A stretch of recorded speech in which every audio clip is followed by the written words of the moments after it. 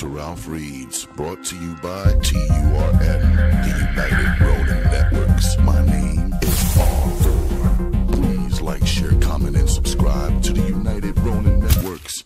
We are Ronin.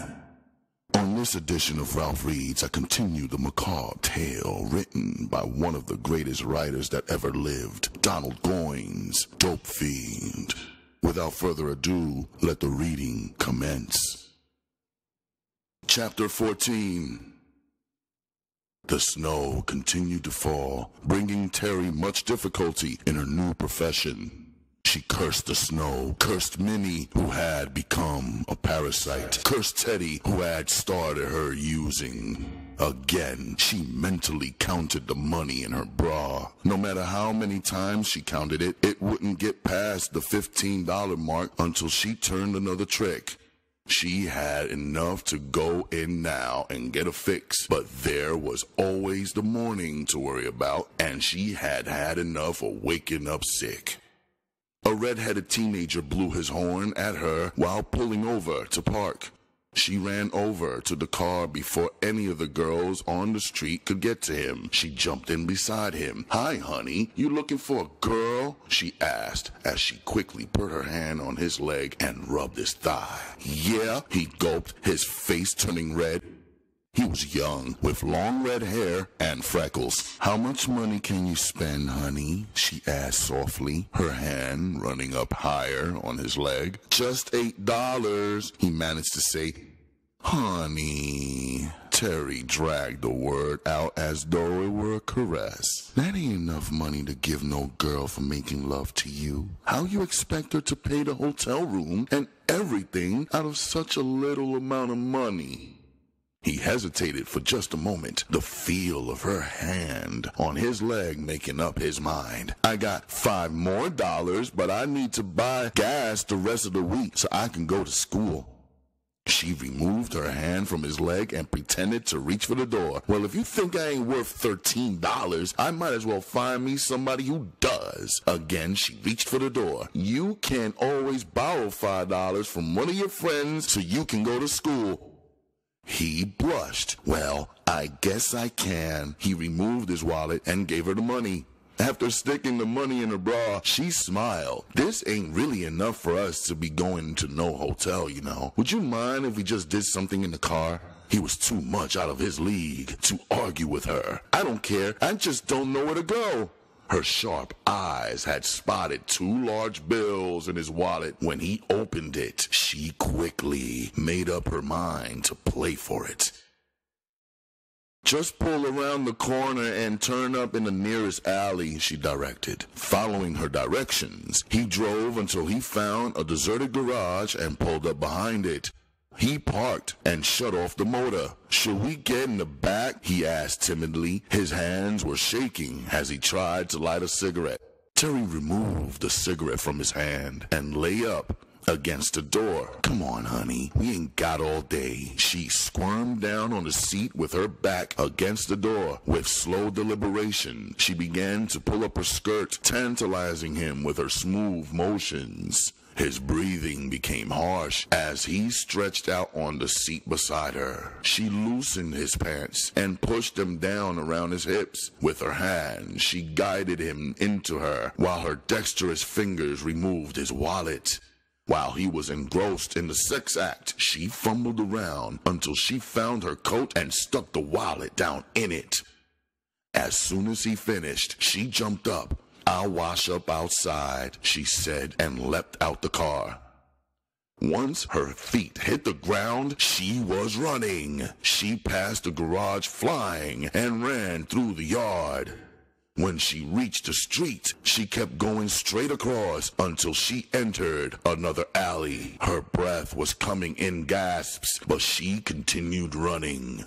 Terry reached another street and started walking slowly, watching the traffic coming both ways. Terry! Terry! She turned to see Rico, a tall, light complexioned dope fiend, calling her from his front porch. He beckoned for her to cross the street. She looked up and down the street closely before crossing. What's the deal, Rico? she yelled as she ran across the street and joined him. Hey, baby, he said. I just wanted you to know I got the bag now. If you want to cop, you can give me a little bit of that good business of yours. Her sharp, bitter laugh rang out. Honey, stuff costs too much money for me to be wasting my bread on some flea, she said flamboyantly, proud of the sting she had just taken off. This ain't no flea, Terry. I'll tell you what, if you cop and you don't like it, I'll give you your money back, he said before adding, plus, baby, I got some dollar caps. Since she wanted to get in off the street anyway, she followed him inside the flat. She stared around in surprise when she entered. The apartment was completely vacant of furniture. The only thing in the whole living room and dining room was an old mattress. The floor was covered with cigarette butts, and around the mattress were empty red caps. God damn, Rico. I thought I was living hard, but you win hands down, she stated with honesty. Terry removed the wallet from her coat pocket and counted the money. The lying son of a bitch, she said under her breath as she removed three twenties from the wallet. Rico stared at her with interest. He had been watching her, and for a dope fiend, she was becoming one hell of a whore. What you do, baby? Take off a sting? She nodded her head in agreement as she stared around the large empty flat. This could be one hell of a place, baby, if you fix it up. All it needs is a woman's touch, he said, dropping his hint. Terry ignored him. She removed a $10 bill from her bra. Give me 10 of them caps, Rico. Remember what you said now. If it ain't nothing but flea, I get my money back. You'll like it, he said, grinning as he pulled out his bag. He had the pills in a bottle so they would look like ordinary pills. It wouldn't fool anyone on the Vice Squad, although it might take in some rookies. Terry took off her coat and sat down on the floor. She began opening up the caps, dropping them into a cooker. How about getting me some clean water, honey? She asked in a husky voice. When Rico returned with the water, she had already dumped all the caps. She took the water from him, stuck her works inside the glass, and drew up some water in the dropper. She squirted the water on top of the dope inside the cooker, laid the tools down, and got out a book of matches. She held the flame under the cooker until the dope dissolved. Next, she picked up her works and drew some dope up into the dropper. You want me to hit you, Terry? Rico asked politely. She shook her head as she tied up her arm with a necktie. Don't need no help, she replied, too busy to look up. Her eyes closed as the needle slipped into her vein. Rico watched her closely. As soon as the dope took effect, he was aware of it. You like that, don't you? He asked quietly. She opened her eyes and stared at him. It ain't nothing to write home about, but it will do, she replied sharply. He waited a minute and then blurted out, Why don't you go on and choose, Terry? If we hook up, ain't no stopping us.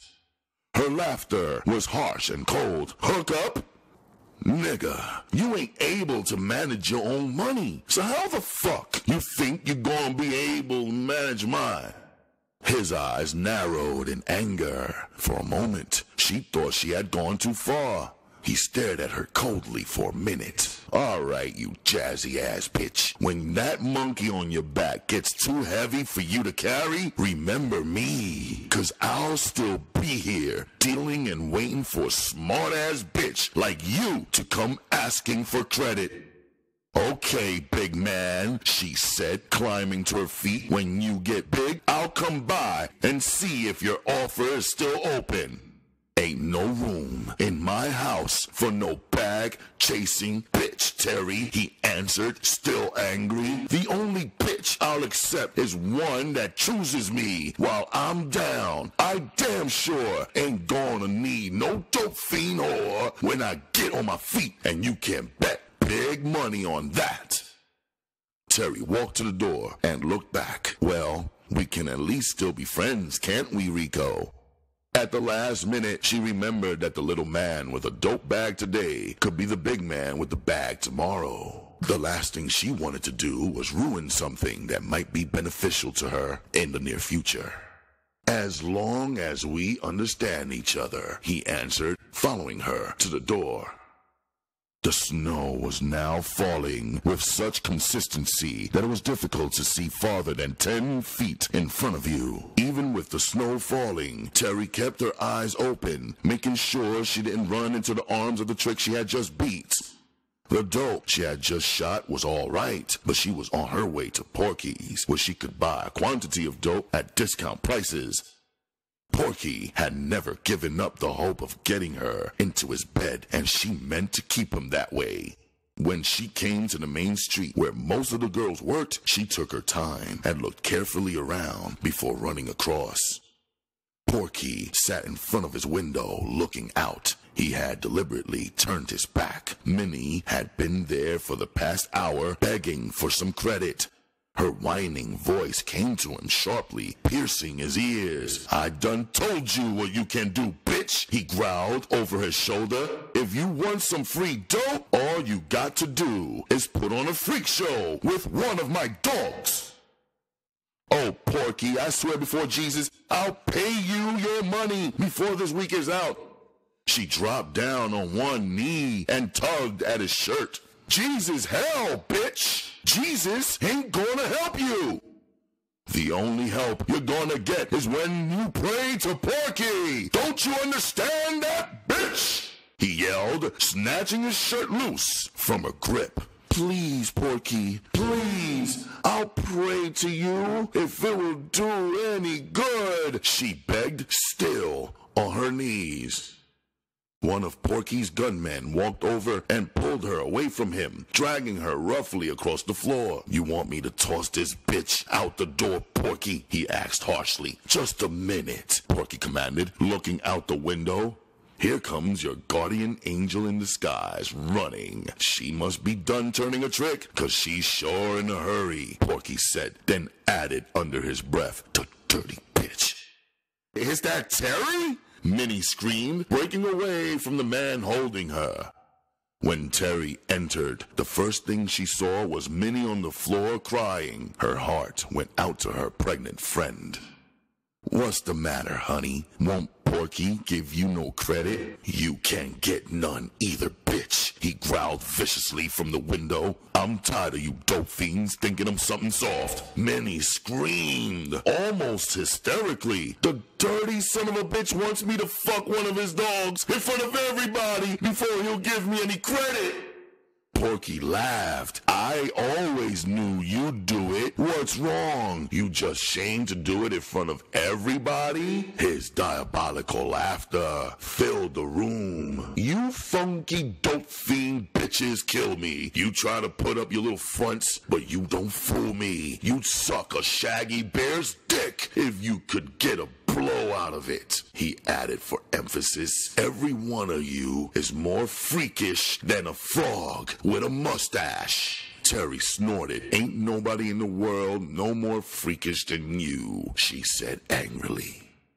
Her girlfriend pulled at her coat sleeve. Don't make him mad, Minnie pleaded. You know he just likes to have his fun. Porky roared. He sat back in his chair and laughed until tears ran down his cheeks. As quiet as it kept, Terry, he said, you can perform in the freak show with your friend. I got a dog for each one of you. You try holding your breath, Porky. Just do that until you see me put on a freak show for you. Her voice was cold. There was a harshness to it that wasn't there a month ago. She reached in her bra and pulled out her bankroll. Can I buy some dope here, or has my money become funny? His eyes became hard as he stared at her. Your money is good, Terry. Just make sure you always have some. That's all. She counted out $50 and held it towards Big Ed. He took the money and counted it. She ain't got but $50, Porky. Should I let her go for that? Hell no! From now on, that bitch there has got to spend top dollar with her smart ass. Porky shouted at the top of his voice. His outbreak was enough to make Smokey come out of a deep nod and stare around, then drop her head again.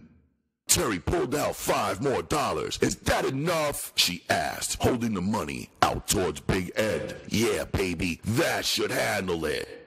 He walked over and shook Smokey. When her head came up, he put the money in her lap. Like a sleepwalker, she got up and walked towards the bedroom, carrying the money in front of her. Here, honey, Smokey said as she walked over to Terry and handed her the heroin. The two women stared at each other for a moment. It's a mean, cold world, Terry. Smokey's voice was low and husky. So make sure you don't get caught out in the blizzard with nothing on but your bloomers. You might get a hell of a letdown when you find out ain't nobody there to loan you a coat. I'm beginning to learn that God blesses the child that has his own, Terry replied over her shoulder as she walked towards the door, closely followed by Minnie. When she reached the door, she stopped and stared directly at Porky. If you should catch me out in the blizzard without a coat, your best bet is to either pour water on me or watch yours real close, cause I just might end up with it. Her fading footsteps could still be heard as Porky spoke under his breath. The bitch done become a real snake. King Cobra in a female dress. Chapter 15 the courtroom sounded like a king-sized beehive as the various voices mingled, most of them speaking just above a whisper because of the strange environment. Many of the individuals sitting in the crowded court had had some experience before with courtrooms, yet because of external influences, they were still affected with an unknown dread. They continued to whisper quietly to their friends and relatives while waiting for the presiding judge to reappear. The morning was almost gone and it had been slow and repetitious. The first people to come before the judge for sentencing had been a long line of drunks, each one using a feeble excuse in an attempt to regain his freedom so he can continue his sordid life of deterioration. Teddy and Snake had long since given up their seats on the hard benches to stand in the back of the courtroom, both leaning insolently against the wall. Beside them, other young men leaned or stood posing, all of them neatly dressed, all of them waiting on the same thing. Every now and then, a fast-talking lawyer would seek out one of them in the crowd. Goddamn judges, Teddy swore angrily. We've been down here waiting over three hours, and the bastards ain't brought the whores out yet. That's part of the game the would-be big fellows play, Snake replied. First they come out and work for an half an hour, then they go sit on their fat asses for two hours.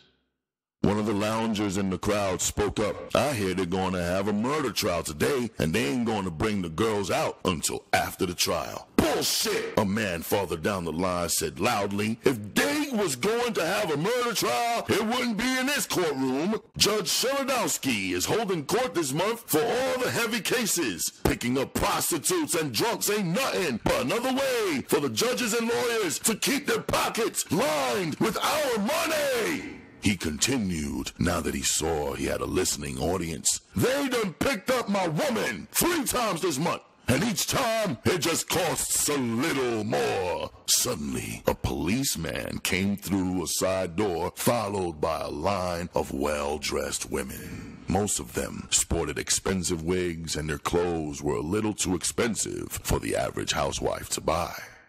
They came in quickly, followed by another policeman with a policewoman close behind him. The men against the wall began to point out their various prostitutes, their voices extra loud to let the people sitting on the hard benches know they were pimps. As the girls marched towards an empty box seat that was sometimes used for juries on serious crimes, their eyes searched the back wall, reassuring themselves that their men wouldn't leave them in the lurch. Teddy caught Carrie's eye there's Carrie and Shirley, Snake, he said, all the time knowing that Snake had seen them already. Their lawyer came hurrying up. I got it fixed, boys, so that your girls were just about the first ones called up. He removed a silk handkerchief from his pocket and wiped his bald head. He was a portly white man in his early 60s. His face was blotched red from too much rich food, while his chin was nothing but folds of fat. His huge belly shook as he pretended to be full of mirth. You boys ain't got nothing to worry about. It's all in the bag. The judge is an old friend of mine, so we haven't got any worry on that problem. He'll just give them a fine. Then you could be on your way. He rubbed his fat hands together. Now, if you fellows would just get the rest of my money together, I'll get on up there and take care of the business.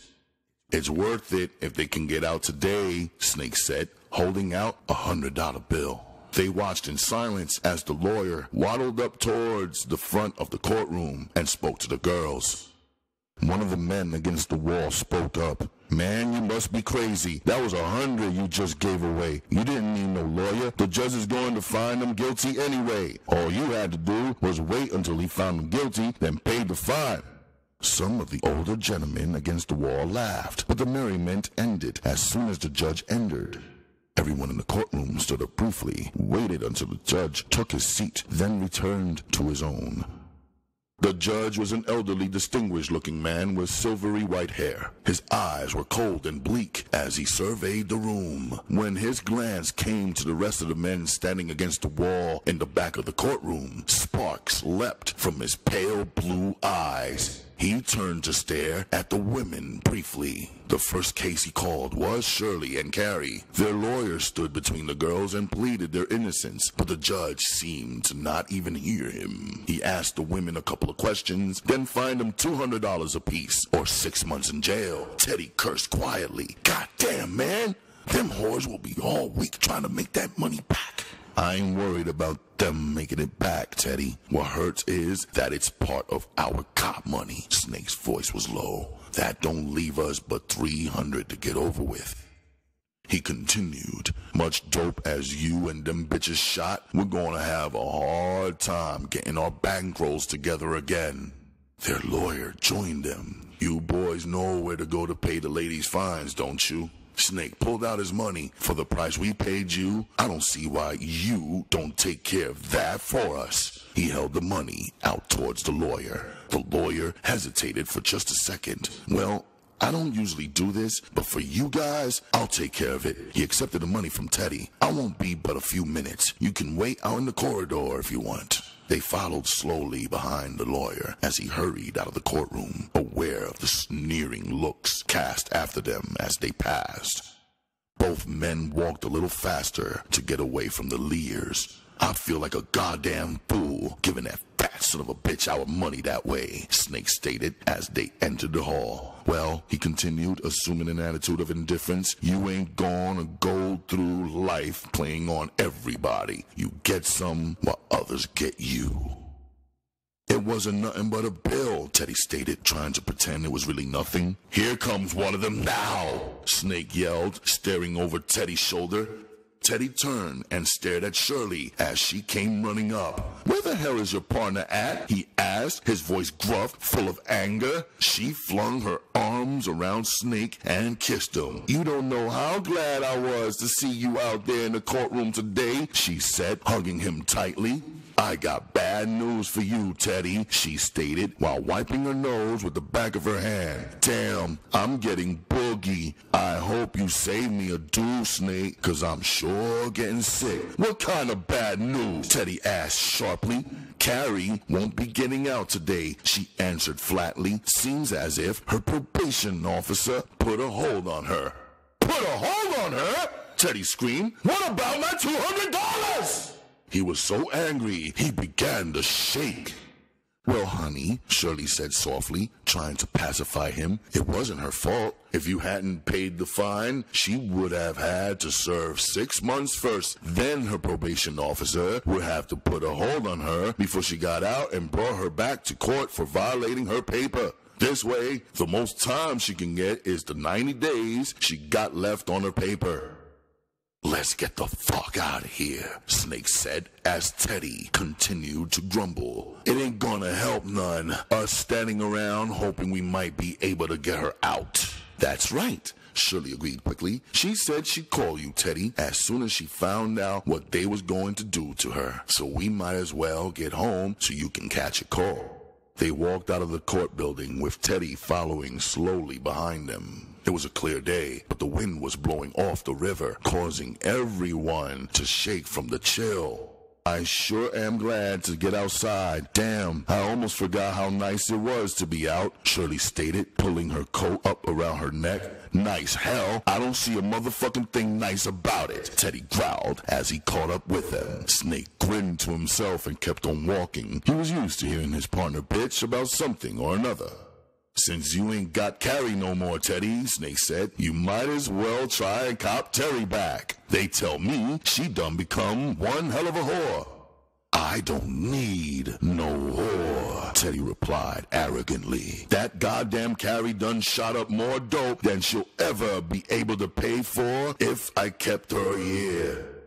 Shirley stuck her arm through Snake's. Come on, honey. Let's hurry, please. My nose is running. Plus, I'm starting to get the flashes. They finally reached the parking lot where they had left the car. After Snake paid the parking lot attendant, they all piled in, huddled together for warmth. Shirley's teeth began to rattle. Damn, I don't know why I keep on using. I ain't got no blood left in my veins. It ain't no sense in nobody getting this cold just walking a few feet. Man, cut that damn cold ass heater off, Teddy yelled when a blast of cold air hit him. I suppose you're getting sick too, Snake asked sarcastically as he drove out of the parking lot. The drive back across town to their apartment was swift. Traffic was at a minimum. It was still early in the day. Snake parked, and the three of them hurried toward the apartment, all driven by the same desire. As soon as Teddy put his key in the lock and pushed open the door, Snake and Shirley rushed past him. Everybody made a beeline to where they had stashed their personal works. This is the last of the bag, Teddy, Snake stated as he came back from the bedroom carrying a small amount of dope on an album cover. How much you think we got there? Teddy asked curiously. It don't look like it's enough for all three of us. Shit, Shirley exclaimed. Both of you done already had a fix. You should at least give me that so I could get myself together. Teddy laughed harshly. You'll never get yourself together if you're depending on shooting my stuff up. Maybe your man might feel like he don't need no stuff, but I sure need mine. Without bothering to look up, Snake continued to split up the small amount of dope. He made three small piles. Here's yours, Shirley, he said, pushing a pile of dope toward her. And that one there is yours, Teddy. He pointed at the pile of heroin left on the album as he pushed his own share into a cooker. How come when you split the dope up, Snake, you don't let me pick the pile I want? Teddy asked indignantly. Without seeming to hear Teddy's complaint, Snake continued to cook up his dope. Shirley quickly snorted up part of her dope. You are beyond a doubt the most crying little bastard I've ever seen, Teddy, she said between snorts. If you ain't bitching about one thing, it's something else. Her voice became lower as she dragged her words out now. The heroin was quickly taking effect. Take care of your own business, bitch, Teddy answered, holding a tie between his teeth as he felt for a vein. Why don't you check your whore, Snake? The bitch ain't got no business in my conversation. Snake sat back in his chair and jacked the works off in his arm. He would let the dropper fill up with blood, then run it back into his vein. That shit both of y'all talking about ain't nothing. Give me some of that dope you got on that paper, Shirley, he asked. She bent down and snorted up the rest of the dope. I ain't got none left. Greedy ass bitch. That's all you is, Shirley. Teddy stated emphatically. That's all you and your girlfriend is, is two walking vipers. Two dope fiend ass bitches. Greedy bitches at that. Honey, you gonna let him talk to me like that? She asked Snake. Her head dropped down on her chest as she nodded. Before Snake could answer, someone knocked on the door. Make yourself needed, baby, Teddy said. Try answering the door. Shirley got up and walked toward the door, moving with a swaying motion. She was tall, with graceful legs, long limbed. The mini dress she wore revealed her large, well formed thighs. She opened the door without bothering to look. Four men rushed through the door. Teddy looked up from his cooker and his heart lurched with fear. He knew only one of the men. The three that he didn't know spread out around the room. Snake must have felt a similar fear. He stood up and shouted, What the fuck is going on here? He stared around the room at the four men. One of them pushed Shirley towards the middle of the room, while another opened the bedroom and stared inside. Three of the men displayed pistols. Shirley started to cry loudly. It had never occurred to Teddy that they might get stuck up. He had relied on Snake's reputation for being bad. Now, as he looked from one face to the other, he could feel his bowels about to move. His stomach shook as if he had a vibrator machine around his waist. Snake's handsome face was drawn tight with anger. Just what the fuck do you think you're doing? He asked harshly. One of the gunmen, his pistol already half cocked, stepped forward and swung the gun against Snake's head. Immediately, a loud shot filled the room. The gunman jumped back surprised as Snake fell to the floor. He stood staring down at Snake, shaking, his face filled with fear. Two of his partners knelt beside the body. My God, one of the men exclaimed. You done killed him. All of the men became excited now, fear showing on all of their faces. You! One of them said, pointing his gun straight at Teddy. Put all of the money and dope on the table. Don't get smart, or you'll end up on the floor with Snake. Teddy hurriedly dumped all of the money out of his pocket on the table. We ain't got no stuff, man. We was just getting ready to make up. The same man who had spoken to him hit him upside the head with the barrel of his gun. Nigga, we ain't got no time for lying. I'm gonna ask you one more time. Where is that dope? Teddy sprawled out on the floor, climbed to his knees. Blood ran down the side of his face from the blow, and tears of fear mingled with the blood. He blubbered as he tried to speak. He pointed his finger at Shirley. Ask her if you think I'm lying. She knows. We just split the last stuff in the house and shot it up. The gunman kicked him viciously in the face. I ain't joking with you, nigga. I want that dope. Shirley hastily fell to her knees. She realized that if they killed Teddy, they would kill her so that there would be no witnesses. Please, mister, please. He's telling the truth. Snake got the rest of the cop money in his pocket. They just got me out of jail, and we was on our way to cop after doing up. The gunmen stared at each other uneasily as one of them went through Snake's pocket. Here's the rest of the money, the searcher said. Who you cop from? One of them growled. Maybe we can go take him off. Porky, Teddy answered quickly. We cop from Porky over on Darwin Street. Two of the men cursed. We can forget about that then, one of them said as he backed toward the door. The one who had done the shooting regained his courage. What are we gonna do about them? We can't just walk off and leave them. You ain't about to get me mixed up in no mass killing, another one replied as he backed toward the door. The rest of them followed suit, and soon no one was left but Shirley and Teddy. They stared at the body in terror. What we gonna do? Shirley asked in a trembling voice. We got to get the hell out of here before they come back, Teddy stammered. Then we got to notify the police. They left the apartment together, clinging to each other for courage. After calling the police, they sat out in the car and waited for their arrival. The cut on the side of Teddy's head turned out to be only slight, but his lips were puffed out from the force of the kick. After the police arrived, they sent Teddy to the hospital to get some stitches in his lip and took Shirley to the station to get a full report. Later in the evening, they got together again. Teddy still had Snake's car, so he dropped Shirley off at work. The excitement of the day was over. Now they both had to take care of their immediate problem. It was time for them to get up some money. They both needed a fix. Chapter 16 the night had passed slowly for Teddy since Snake's death. Not because of any deep concern he had for Snake, but because of Snake's woman. Shirley had promised to meet him after work in the morning so they could go and cop together. He had watched closely for her since he hadn't made any money. Now with daylight shining through the restaurant window, he forced himself to accept the fact that she wasn't coming. At least he reasoned with himself he had gained something from the ordeal. He had Snake's car, and he wasn't about to give it up to none of Snake's kin. He stared at the waitress angrily until she turned her head.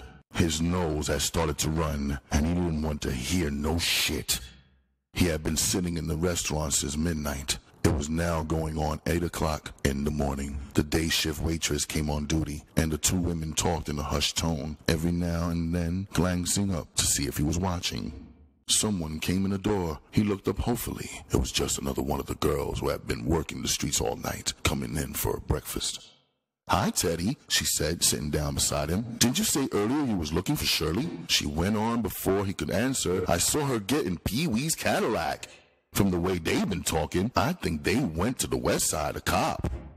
Teddy felt his stomach sink. How about loaning me five dollars, B? I'll give it back to you as soon as I get my bag together. No bet, baby, she said, getting up. If my man heard about me loaning you some money, he'd kill me. She walked over to the jukebox and played some records, then sat down at a table by herself. A sigh of despair escaped from Teddy. He knew now he was right back where he started from. Only this time, he had transportation. He got up and walked slowly toward the door. He had already gotten a blow from Porky after telling him the news, so he knew his credit wasn't any good. He felt in his pocket. It hadn't grown any money since the last time he reached in there. He still had about 50 cents worth of change. He decided to put that in the gas tank. He drove up and down the street slowly, looking for Terry. If he could find her, he thought, he'd take whatever money she had made. Unable to find her, he pulled up in a gas station and spent his last 50 cents. While he was there, he opened the trunk and noticed a spare. He ended up pawning the spare tire and jack for five dollars. He rushed over to Porky's house and spent it. It just barely knocked the chills off, so he was back where he started, minus one tire and jack. His mind started working feverishly. Today was check day. If he could cut off the mailman, he could get his sister's check and cash it at the neighborhood grocery store. As he jumped in the car and raced toward his old neighborhood, he promised himself that as soon as he turned the dope bag over, he would return his sister's money. If I move fast, he thought, I'll have her money back no later than tonight. It was still early when he parked a few doors away from his mother's house. He cut the motor off and sat watching the street. After about an hour, he saw the mailman turn into his block. He started the car and drove slowly toward the man. Hi there, he yelled out the window. You got a minute? The mailman walked slowly toward the car, a handful of letters gripped tightly in his left hand. Hi, Teddy. What you doing up so early? I always thought you was a late sleeper. I got to take Bessie to do some shopping, Al he answered. She asked me to pick up her check from you so that we could be on our way. Before the mailman could reply, he continued. She's getting dressed and figured if I could get the check from you and cash it, we could save some time. For a moment, the mailman was undecided. I don't like to give out other people's checks, Teddy, but since she is your sister, I guess it's all right this time. His words were like a stimulant for Teddy. He couldn't believe his good luck. He held his breath while the mailman looked through the mail. Finally, he found a long envelope and held it out toward Teddy. Bessie had grown tired of waiting for the mailman to show up with her check. She grabbed her coat and stepped out on the porch. I'll be back shortly, Mama, she yelled at her mother as she went out the door. I just wanted to see if the mailman's coming. She stepped out on the sidewalk and stopped. Damn, if that don't look like Teddy, she thought as she put her hand up, shading her eyes from the glare of the sun. She saw the mailman hand him something, and her heart leapt. Couldn't be, she told herself as she started running in that direction. She watched Teddy as he climbed back in the car and drove off. Tears ran down her cheeks as she tried to run faster. Before she reached the mailman, she started yelling, he didn't get my check, did he? You didn't give him my check, did you? Her voice sounded shrill in the still morning air. The mailman stopped and stared stupidly. He had heard her, yet the words didn't seem to make any sense.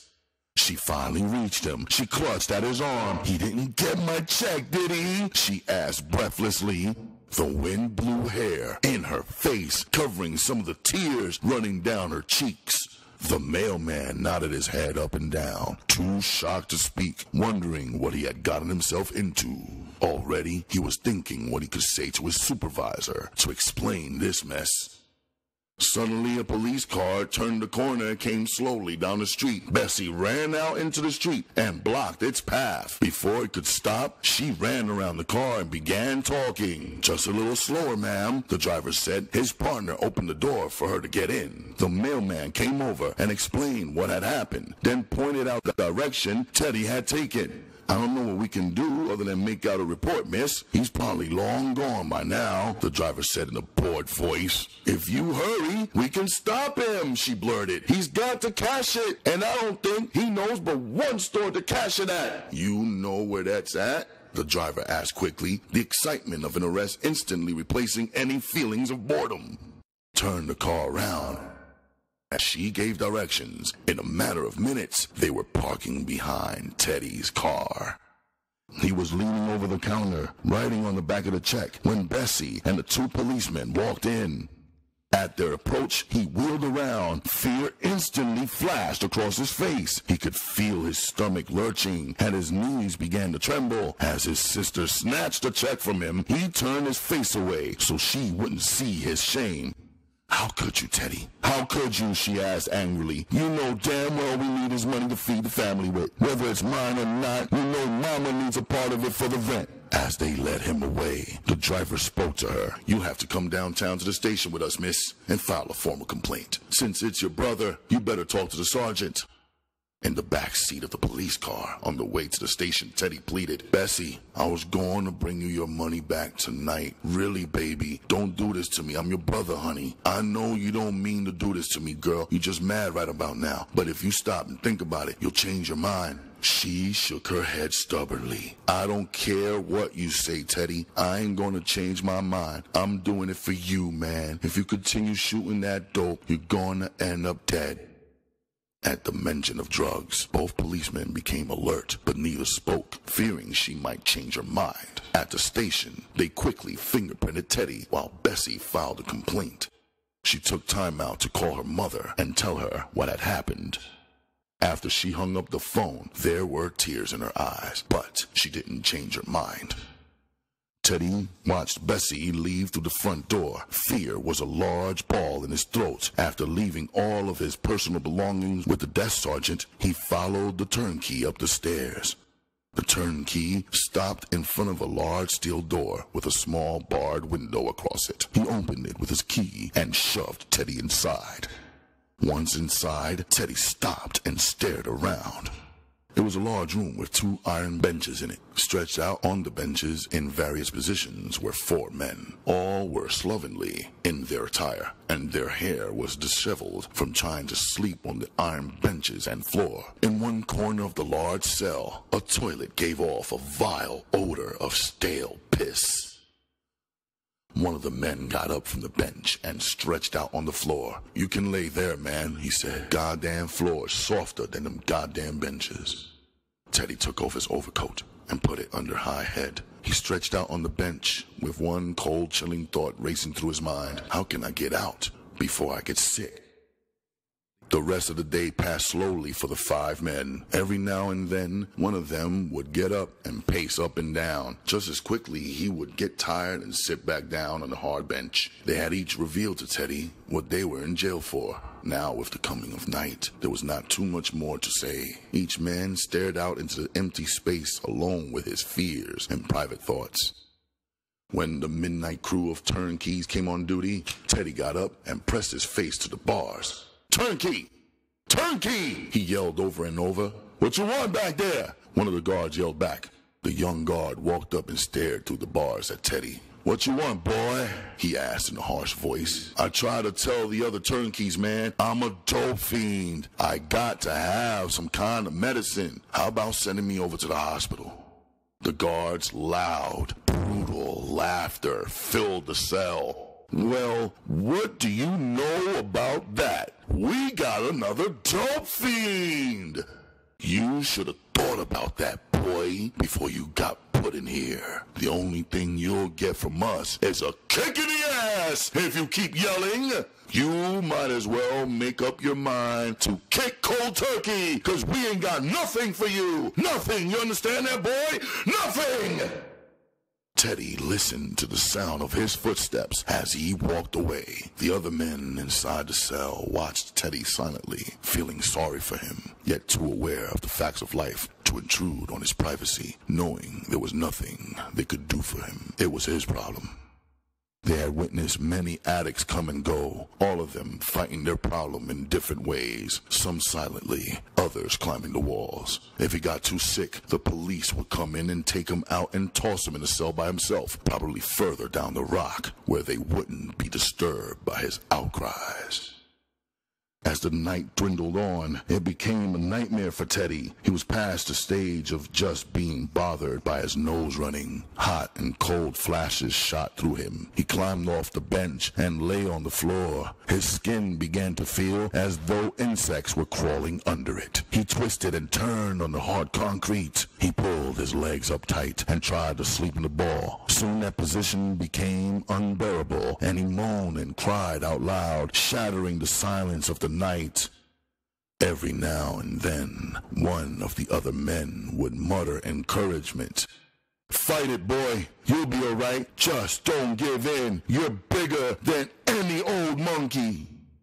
When daylight came, his clothes were soaking wet and his hair was stringy. His face was filled with shock. He had looked into the pits of hell. The thought of at least two more days of this terrified him beyond all reason. His only thoughts were of dope.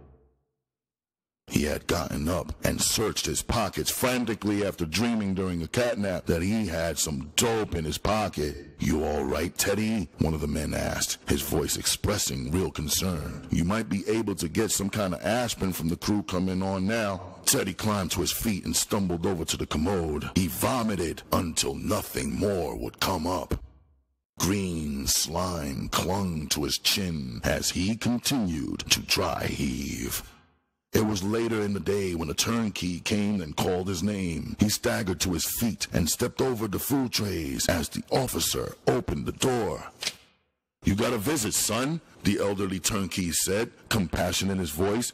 He had been working on this same floor for over 10 years, and he had seen the addicts come and go. He had come to realize that when a real dope fiend came in off the streets, it was a pitiful sight. He led Teddy down the corridor, opening and locking doors behind them. The turnkey stopped in front of a small cell with bars covered with a thin screen, the wires so intricately woven together that a cigarette couldn't be shoved through the tiny holes. The officer closed the door behind Teddy and stood outside. From a distance, Teddy could hear his mother's voice. Suddenly, she was standing before him, his sister beside her, staring at her son in horror. There was a small patch on the side of his head from where he had been hit with the pistol. At one time, it had been white, but since sleeping on the filthy floor, it was black. His bottom lip was stitched up and his hair full of debris. He clutched the bars and sank to his knees.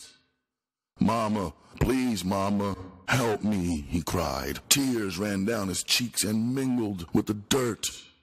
Her hands flew to her heart, and her dark face twisted with despair and agony.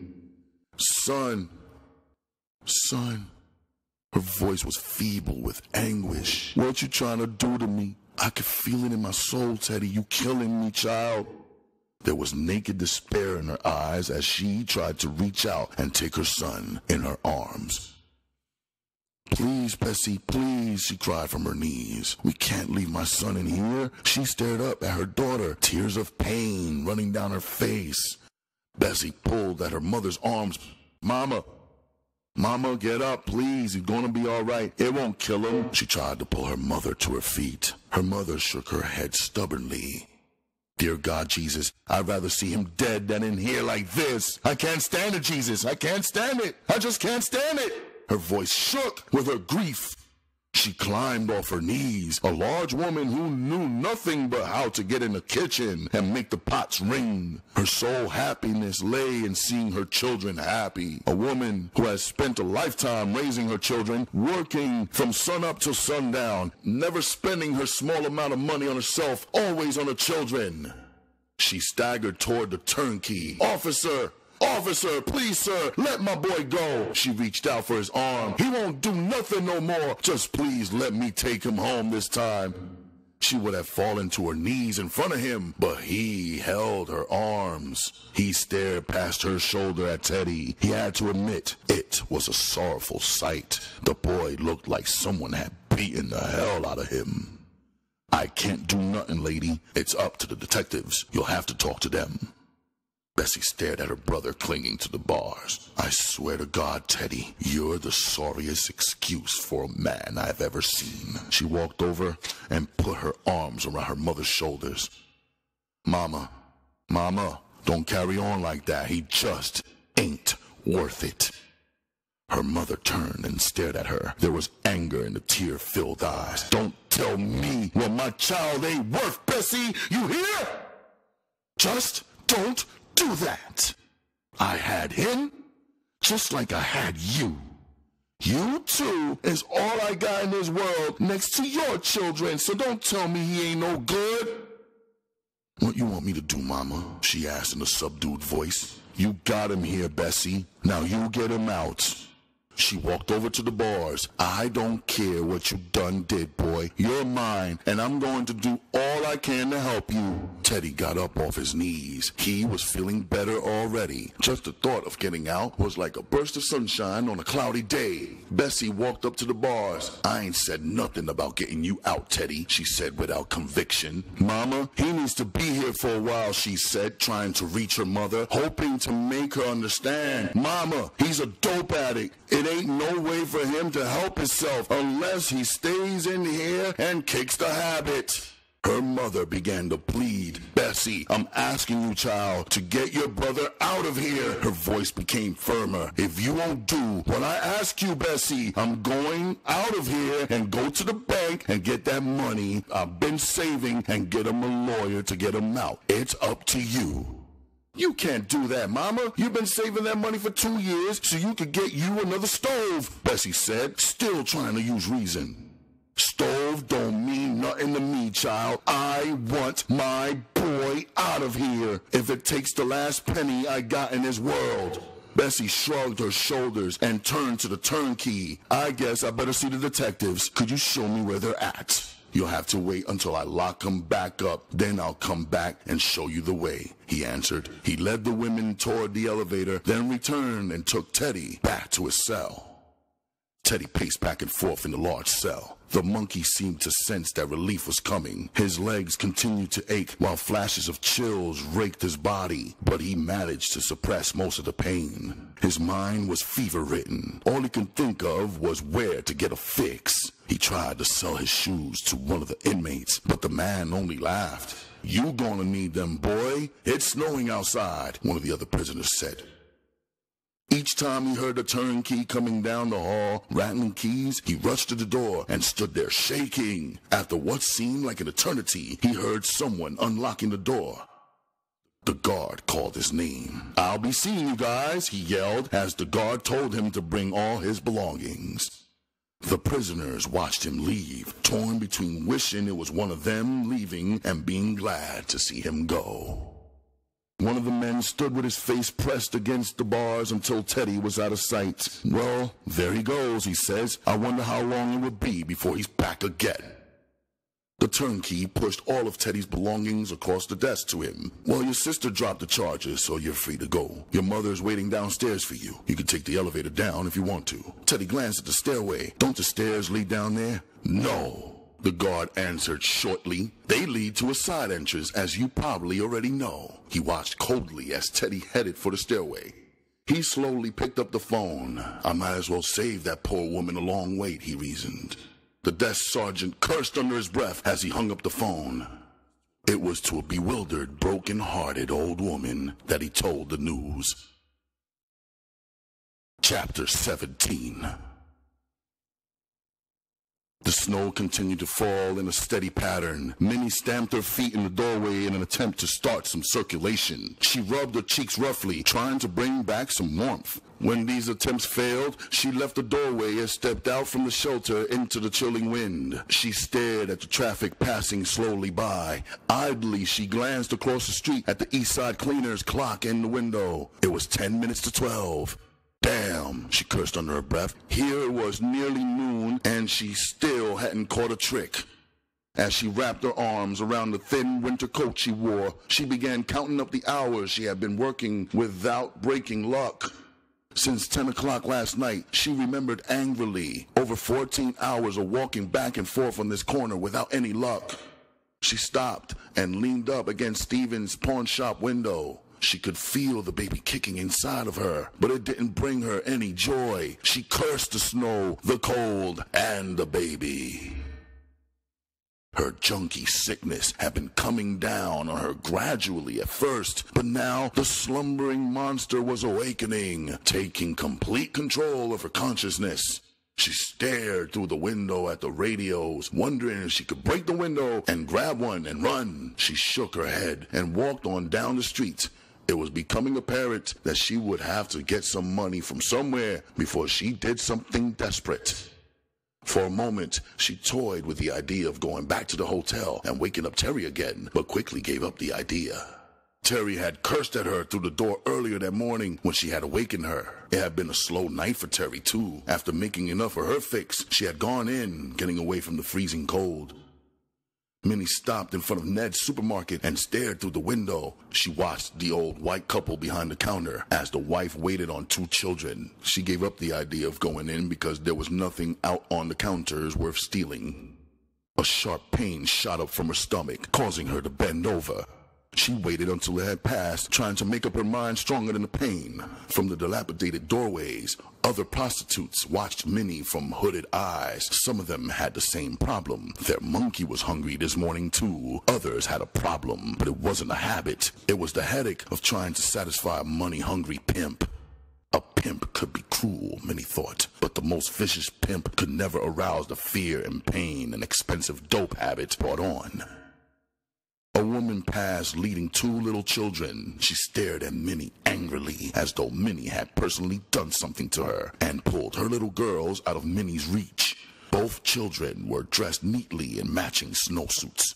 Minnie stared after the children. They brought back memories of her childhood. Only there were no cute snowsuits that she could recall. It had always been cold as she remembered it. Even then, she wore a thin fur coat she had to make use of in the coldest of weather. Snow boots had been a dream of hers for years when she was a child. She hadn't owned a pair until after her 13th birthday, and then only because she had been able to steal them from the girls' lockers at school. She watched a drunk stagger down the street toward her. Before she could reach him, two other girls bore down on him from out of the darkened doorway. She ran up to the crowd, ignoring the angry stares the other two women cast at her. The two women were holding the drunk up, each one holding an arm. Minnie walked straight up to him. As the wind whipped his coat back, she put her arms around his waist, rubbing her huge belly against the Negro's trick stomach. He tried to focus his fire red, beady eyes on her, but before he could even see who was hugging him, her dexterous fingers went to work. She plucked his wallet out before the other girls became aware of what she was doing. They didn't know what was happening until she released him and took off down the street. Their shouts of anger followed her as she tried to run, her huge belly bouncing up and down.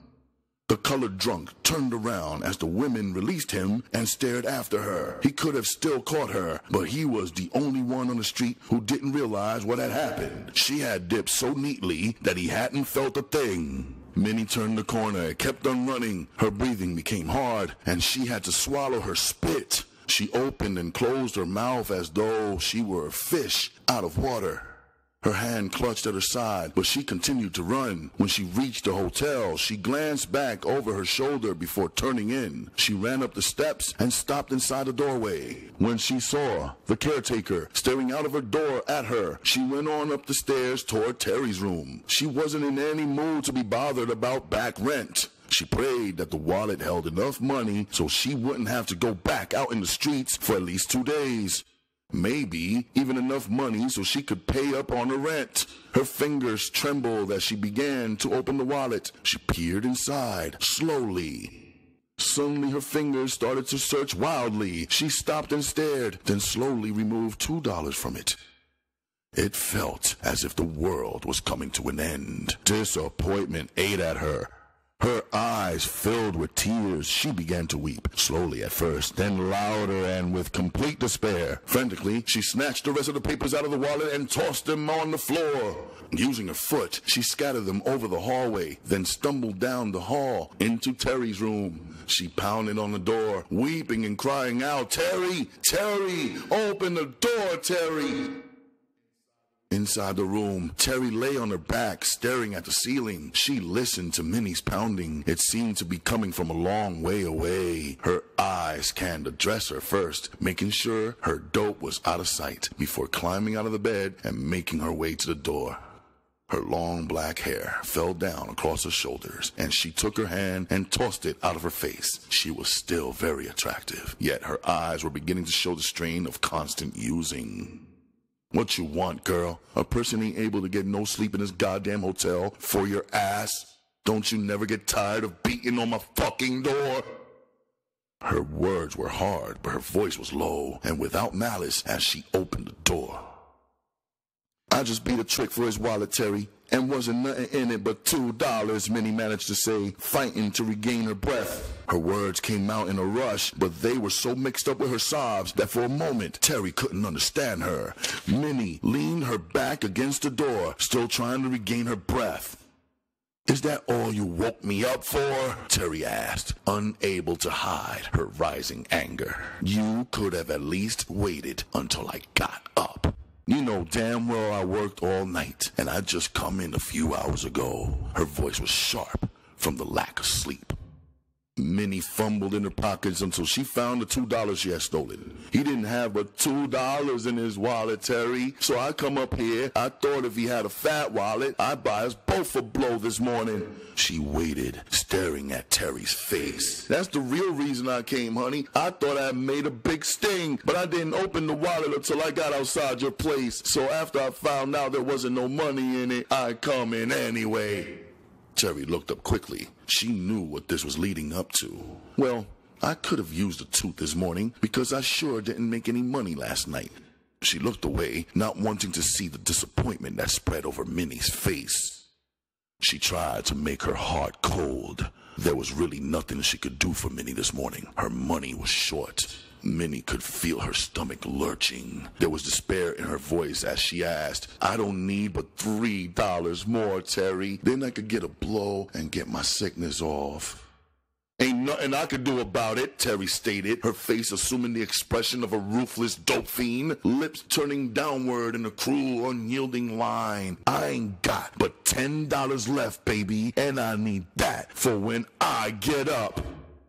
There was desperation in Minnie's eyes as she walked over to the bed and clutched at Terry's arm. Why don't you loan me half of that, Terry? I'll make it back before you get up. Terry shook her arm free and drew back. No good. She yelled and shook her head. I ain't buying that shit. When I wake up, I'm gonna be sick, and five dollars ain't gonna get my sickness off. You've been out working since last night, girl, and you ain't make but two dollars? How you think you're going to make any money in the next two hours if you didn't make any all night and morning? Minnie stared down at her girlfriend, too sick to argue. For a full minute, she thought about the knife in her coat pocket. It wouldn't be hard to pull it out and make Terry give up the money. She was tempted to try, but rejected the idea. Ten dollars wouldn't get but one fix, and then she would have blown Terry's friendship. In that light, she decided to pass it up. Sometimes when Terry took off a good trick, she would find her and give her a blow. With that in mind, she turned and staggered from the room. Terry watched her go with mixed feelings. As soon as the door closed, Terry ran over and locked it. She then walked to the dresser and removed a small package from a drawer. She opened up the small pack of dope. There was just enough left in the package to make up two more hits. Her conscience disturbed her for a moment. She could have given Minnie a blow and still have enough to wake up on. She also had $10 worth of cash left, but she always kept $10 for don't go money. Terry took her time fixing up. The thought ran through her mind, just before sticking the needle in, that she could still run out and catch her friend. She pumped the dope into her vein. The drug hit immediately. She lay back on the bed and went into a deep nod, the spike still dangling from her arm. Minnie made her way out of the hotel and headed straight for Porky's. She made herself believe that Porky would feel sorry for her and give her some credit. Big Ed led her in the apartment. God damn, that stomach of yours is sticking out a fucking mile, he said as she came in the door. I bet that box is hot as an oven, Porky said from his large chair. He crossed his huge legs and the blood-red bathrobe he wore slipped open. Minnie made her way over to Porky. I ain't got but two dollars, she said, and held the money out to him. Porky moved forward and ran his hand under her dress. Girl, how can you stand working out there in all that cold weather without any pants on is beyond me, he said, still feeling under her dress. She opened her legs wider and stood wide-legged. I'm sorry, Porky. You gonna help me? There was much more than just begging in her voice. There was the sound of total despair. He removed his hand from under her dress and stared into her face. It was all there for him to see. Will you listen to that, Ed? He exclaimed loudly. If I remember correctly, this was one of those smart-ass bitches that talked plenty shit a few months ago. There wasn't none of me, she answered quickly, then tried to shift the blame. You know that's Terry, who always talks smart to you, Porky, not me. All you dope fiends are the same, Porky stated brutally. You ain't got no respect for nobody. Terry been taking care of your habit most of this winter, yet here you are, ready to sell her out for a fix. A small gleam came into his eyes as he stared up at her. He stood up. Come on, he ordered, and walked towards the bedroom, never looking back to see if she would follow or not. He knew she was coming. Her sickness had her in such a way that anything went, no matter what, if she could get a fix out of it. Minnie followed him into the room and closed the door after Smokey walked past. Take your clothes off, Porky demanded. He watched her closely as she undressed. Minnie had reached a point where she no longer thought, only reacted. She moved now as though she were a robot. She removed her clothes quickly and stood before him naked. Porky led her to the bed, pushed her over. He spread her legs wide, then using his fingers, he toyed with her for a while. First, he experimented to see how many of his fingers he could stick up her at one time. Growing tired of this, he tried inserting his huge fist. Next, he got up and released one of his large German police dogs. He brought the dog back to the bed and lifted him up between her legs. Suddenly, Minnie realized what was about to happen to her. She twisted her head into the pillow. Scalding tears ran down her cheeks as she felt the dog's paws against her stomach. Animal sounds came to her, and she shut her eyes tightly, not wanting to know whether they came from Porky or the dog. She could feel Porky twisting her hair, and without opening her eyes, she opened her mouth to accept the rigid penis he was sticking in her face. Later, Porky shoved her out of the bed. Go in there and wash up, he commanded. She got up and obeyed, moving as if in a dream. When she returned from the bathroom, he tossed two small $10 packs at her. Take it across to your place and do it, he ordered. I don't want to see your freakish ass for a while.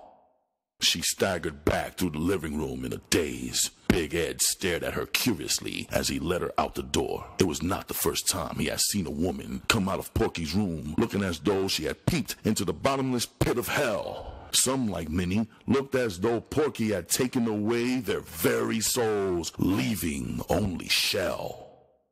Minnie made her way across the street and into her room, not really knowing how she got there.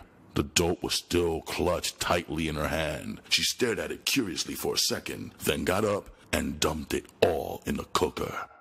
After she worked, without thought, her mind drifted back through the past. Life had always been difficult. Since her early childhood, things had always worked out harshly for her. She thought about the coming problem of raising a child. Tears ran down her cheeks as she saw what kind of life she would have to offer her baby. She struck two matches and lit up the bottom of the cooker. She had done this so many times that she could do it with her eyes closed. Her mind continued to drift as she cooked up the dope. The thought of her child coming into the world as a dope fiend saddened her. If she had only committed herself, things would have been different. Suddenly, the lighted matches burned her fingers. The pain made her release the matches and the cooker. Dope spattered all over as the cooker took a bounce when it hit the varnished floor. She stared down at the spreading puddle of heroin. It had been all for nothing, she thought. Her mind began to play tricks on her. What had been for nothing? What had been for nothing? For a moment, she couldn't remember anything. Then she remembered one of her drunken mother's boyfriends getting into bed with her one morning when she was a child. The pain, her mother's anger directed more at her than at the man. Later that morning, she had prayed to die while lying in her bed. When she awoke, she had been hurt and angry that her prayer hadn't been answered. Without hesitation, she began to pull the dresser into the middle of the floor. When she got it in place, she got the only chair in the room and climbed up on it and cut down a clothing line. Now she moved with calm deliberation. She was doing something she had thought about on many occasions. How many times had she lain in this very room, sick, knowing there was a way around her problem? The idea of not waking up sick anymore brought a slight smile to her lips. She undressed slowly, removing all her clothing. She hesitated briefly, wondering if she should wash, but the thought flashed through her mind that no amount of water would ever get her clean again. Then she remembered the dog and Porky. Tears started flowing down her wrinkled brown cheeks. She reached up toward the ceiling and grabbed the chain the light bulb hung from. She removed the light bulb and placed her clothesline around the chain. She twisted the rope together so that it wouldn't bust from her weight. She tied a sliding knot in the rope and put it around her neck. When she thought everything was ready, she stepped off the chair. Her legs kicked viciously, reaching out for some support, but she had kicked over the chair. The shadow on the wall revealed a grotesque dance of despair, an ending of horror, the beginning of peace. This concludes this part of the miniseries on Ralph Reads.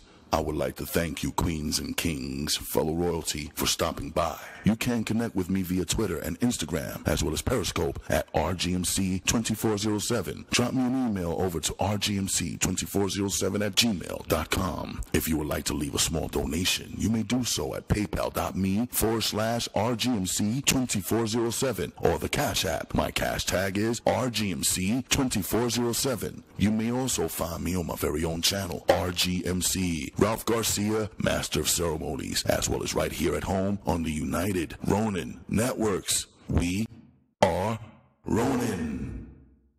Fellow royalty, pick up a good book, read a good story, and set your good self free. I appreciate you, and I love you like cooked food. I will see you folks on the next edition of Ralph Reads Auf Wiedersehen.